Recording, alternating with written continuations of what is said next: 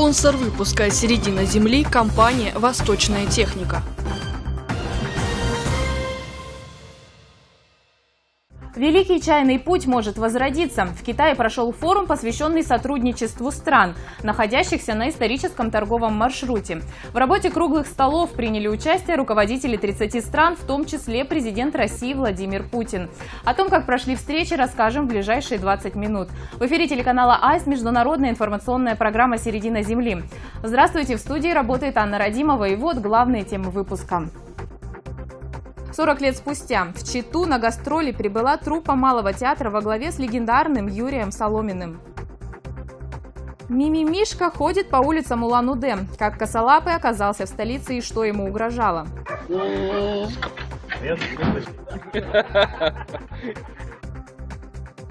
Международное призвание ансамбль из Улан-Удэ стал победителем мирового танцевального конкурса.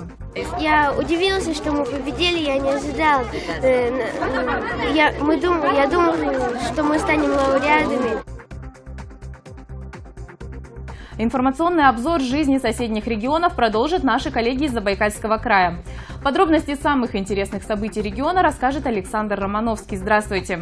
Губернатор Забайкалья Наталья Жданова намерена проверить личное участие министров во Всемирном дне высадки леса. Эта акция пройдет 19 и 20 мая. Расскажите, пожалуйста, где будут сажать деревья и кто именно будет считать членов правительства? Здравствуйте, Анна. Планируется силами представителей органов власти и общественности посадить 40 тысяч саженцев сосны на площади 15 гектаров. В Забайкале выбран участок в Верхнечетинском лесничестве. И на заседании регионального правительства Наталья Жданова поручила исполняющему обязанности министра природных ресурсов региона Максиму Михайлюку доложить о личном участии министров, которые будут присутствовать на акции и к другим новостям. Встреча с Малой Родиной спустя почти 40 лет. В Читу прибыла труппа Малого театра под руководством Юрия Соломина. Позже он провел встречу с забайкальскими журналистами. Во время пресс-конференции актер рассказал о репертуаре театра, представил народного артиста России Василия Бочкарева, который в эти дни играет на сцене драмтеатра для наших зрителей. И отметил, что, несмотря на нечастое появление в прессе новостей о Малом театре, спектакли и труппы неизменно собирают полные залы во всех городах. Пресс-конференция прошла в здании Краевого драмтеатра. Актеров журналисты встретили аплодисментами. Юрий Соломин – наш земляк. Он родился в Чите 18 июня 1935 года. В 1957 после окончания училища он был принят в труппу Малого театра. А теперь, спустя многие годы, 81-летний артист приехал на родину уже в качестве художественного руководителя этого знаменитого театра. У нас вообще работает очень много, наверное, 50% людей, которые проработали больше 50-40 лет, приехали не дублеры. Здесь приехал первый состав. Народный артист России Василий Бочкарев рассказал, что является учеником Юрия Соломина. Сегодня в фильмографии Василия Ивановича десятки ролей в советском и российском кино. Актер знаком зрителям, например, по фильму «Следствие ведут знатоки». Кроме того, голосом артиста в русском дубляже говорят персонажи голливудских фильмов. В репертуаре серия лент о Гарри Поттере, «Хоббит», а также мультфильм «Холодное сердце». Кстати, Василий Бочкарев родом из соседнего Приангарья. Я сам родился в Иркутске, и для меня этот край, Байкал, Забайкалье, Байкальский край, для меня он, ну, вы сами знаете, что значит для каждого человека э, малая родина. Эти гастроли для меня, кроме встречи со зрителем, замечательными читинцами – еще имеет для меня личное значение. Юрий Соломин сообщил, что готов оказать помощь властям в поиске денег на реставрацию здания Министерства культуры региона. Раньше здесь находился роддом, где и появился на свет его родной брат, актер Виталий Соломин. Также от Василия Бочкарева прозвучало предложение организовать при нашем драмтеатре музей. Елена Михайлова в ответ на это сообщила, что здание драматического театра планируют ремонтировать. И стоит задуматься о том, чтобы включить в реконструкцию и проект создания музея музея. Мы рады видеть здесь, на родине, нашего любимого, дорогого, всеми почитаемого, обожаемого Юрия Михайловича Соломина. А вот, и мы надеемся, что наши горожане получат огромное удовольствие. Надеемся, что эти гастроли, они вторые, и надеемся, что они не последние. Юрий Соломин в родной город не мог приехать без подарков. Он передал министру культуры региона Елене Михайловой альбом художников Третьяковской галереи. В свою очередь и министр не осталась без ответа.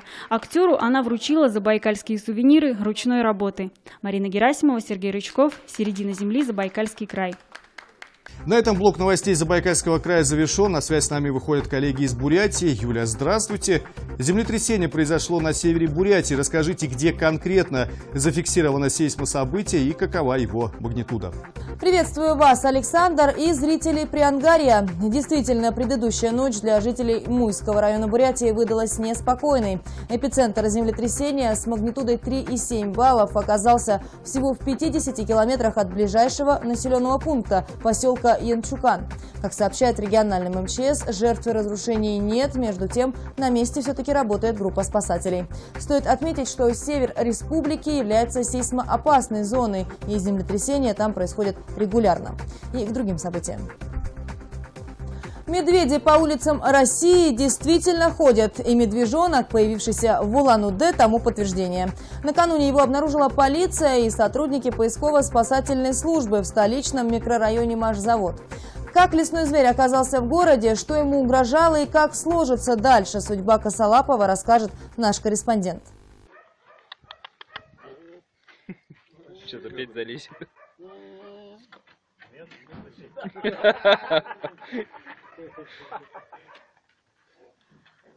Настоящего мимимишку полиция обнаружила у уроженца Средней Азии в микрорайоне Машзавод по улице Чайковского. Известно, что мужчина привез животное из Забайкальского края. Он привлек внимание соседей, когда разгуливал по улице. Из-за белого галстука или ошейника, а также черного окраса возникло предположение, что это детеныш гималайского медведя.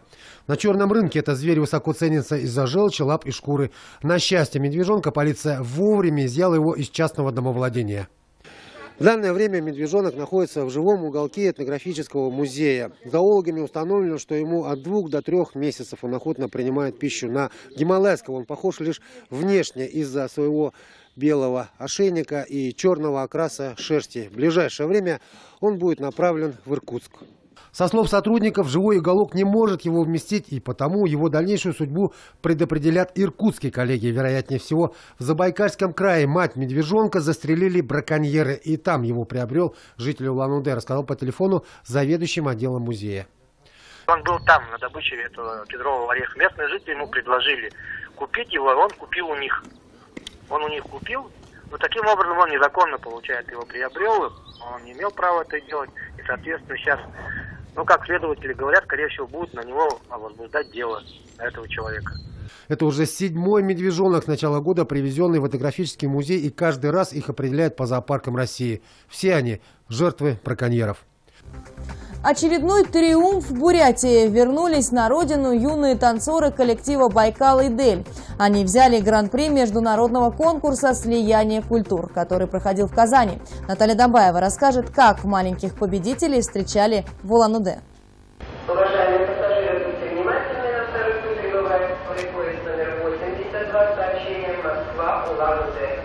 Прямиком из Казани. Шесть дней в дороге, несколько месяцев усердных тренировок, два дня соревнований и вот, наконец, они дома. Победители ансамбль «Байкал и Дель». Наши бурятские звездочки обошли порядка двух тысяч соперников со всего мира. Слияние культур – престижный международный фестиваль, на котором коллектив «Байкал и Дель» взял не только гран-при конкурса, но и призовые места в семи номинациях. Они танцевали душой, говорит худрук ансамбля. Наверное, это и принесло им победу. И когда объявили, что а, школа танца «Байкал и Дель», город Улан-Удэ, республика Бурятия, у всех были слезы, мы на минут 30 плакали, жюри с нами плакало. И на круглом столе прямо, ну, отметили, что ребята ну, восхитительные. Я удивилась, что мы победили, я не ожидала. Э, я, мы дум, я думала, что мы станем лауреатами. Поздравить целый отряд победителей, а это около полусотни ребят из третьей лингвистической гимназии. Пришел и сам директор. Ну, это вообще очень шикарно, то, что наши дети на таком международном уровне получили такой результат. Но в то же время это, конечно, их труд огромный труд. Труд детей, труд, конечно, руководителей. У юных танцоров из Бурятии есть три месяца, чтобы подготовиться к суперфиналу фестивального сезона, который пройдет осенью в Санкт-Петербурге. Наталья Домбаева, Сергей Петров, «Середина земли», Бурятия. И на этом у нас все. Мы передаем слово Приангарию. Анна. Информационный обзор соседних регионов на этом завершен. Далее мы расскажем новости ближайших стран. Во второй части выпуска «Середины земли» смотрите. В Улан-Баторе открыт памятнику Большой Тройки. Сталину, Рузвельту и Черчиллю. Великий чайный путь. Китай нацелен на возрождение древнего торгового маршрута. Сначала мы объединили этой инициативой города, через которые проходил чайный путь в Китае, потом пригласили к участию Монголию и Россию, ведь нет никакого смысла говорить о чайном пути без этих стран. Форум пояса и пути. В пригороде Пекина прошел круглый стол лидеров стран-участниц китайской инициативы. Более ста стран и международных организаций присоединились к инициативе «Пояс и путь». Запущено большое количество проектов, некоторые из них уже действующие. Международную часть выпуска «Середины земли» начинает Монголия. В Улан-Баторе мы приветствуем Улхаму. Здравствуйте! Расскажите нам подробности самых интересных событий.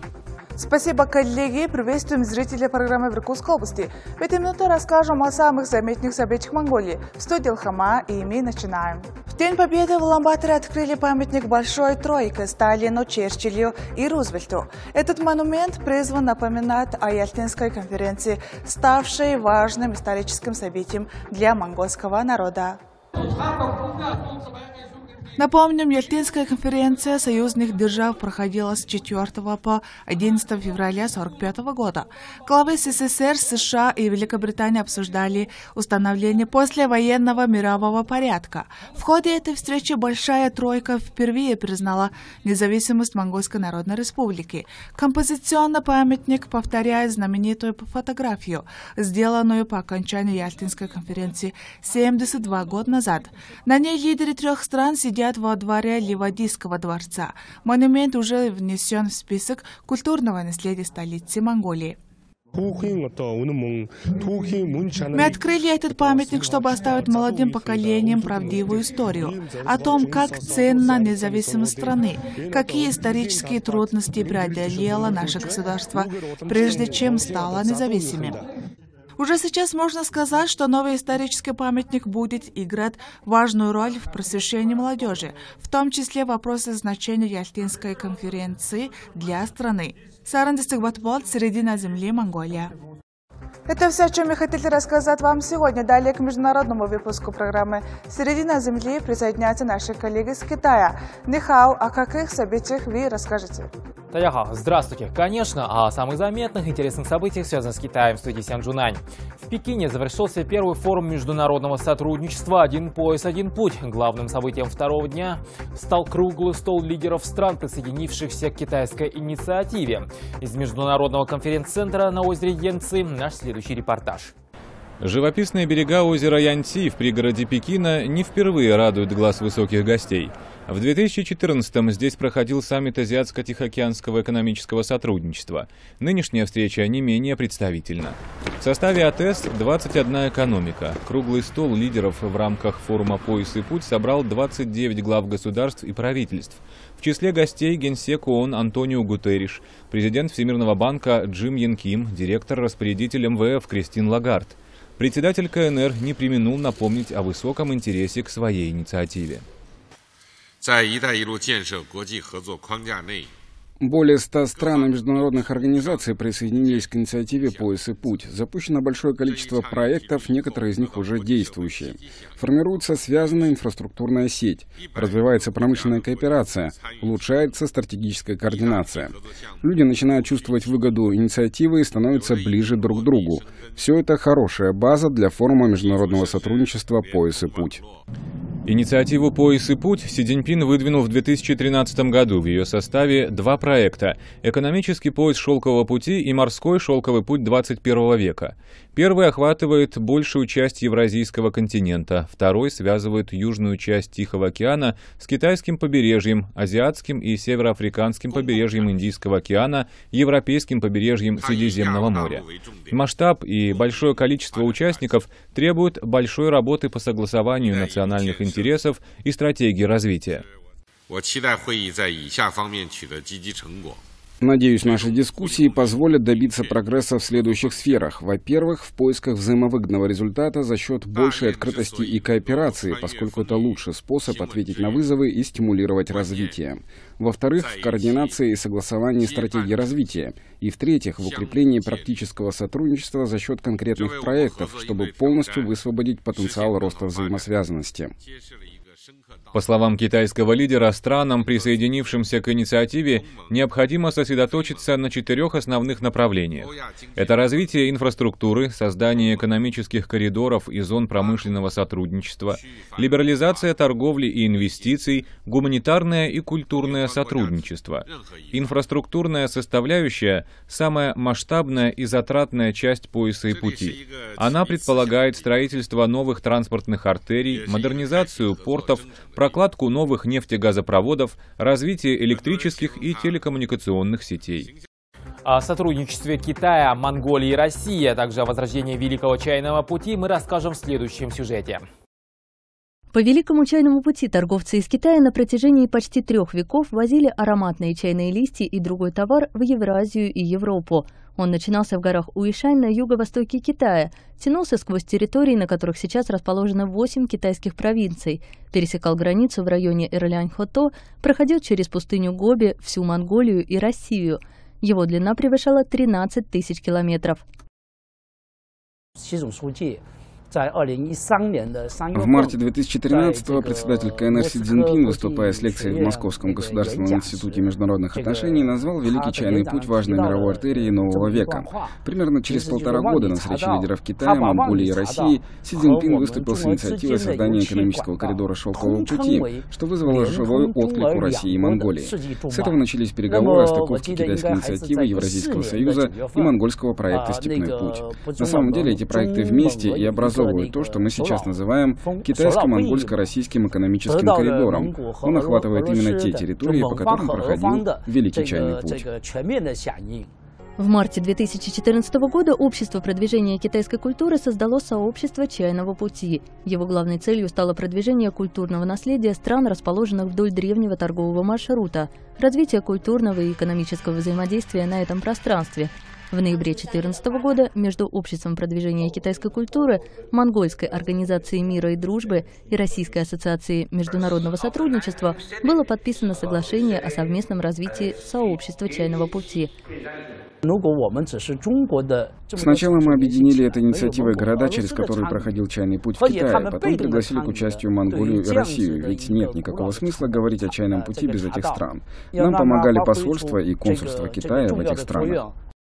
В августе 2014 года в Улан-Баторе при поддержке Китайского культурного центра сообщество провело фестиваль чайной культуры. В его рамках прошли выставки, семинары и молодежные встречи. Фестиваль стал первым в целом ряде подобных мероприятий на территории трех стран. На одном из них была достигнута договоренность о создании туристического союза Великого чайного пути. Очень большую роль в возрождении древнего торгового маршрута играют и встречи мэров городов Китая, Монголии и России под названием «Чайный путь и развитие городов». На встречах принимаются решения о проведении совместных мероприятий в культурной и гуманитарной областях. На них договариваются об организации бизнес-саммитов и обмениваются опытом в развитии городской инфраструктуры. Разрабатываются новые туристические маршруты. Он уверен, что этот механизм поможет укрепить взаимосвязи между тремя странами в различных областях – и будет способствовать возрождению чайного пути как важной составляющей Великого Шелкового пути. Пятый саммит мэров городов пройдет в древнем городе Пиньяо в провинции Шанси 16 мая. Ну и на этом у меня все. Передаю слово коллегам из Иркутской области. Спасибо, коллеги. На этом наш выпуск завершен. О других заметных событиях соседей Приангария узнаете из следующих выпусков программы «Середина земли». В студии была Анна Радимова. До встречи в эфире. Дни строительной техники в компании «Восточная техника». 18 и 19 мая с 10 до 17 часов. Иркутск, улица Ширямова, 50В. Телефон 550 541. Участников ждут подарки.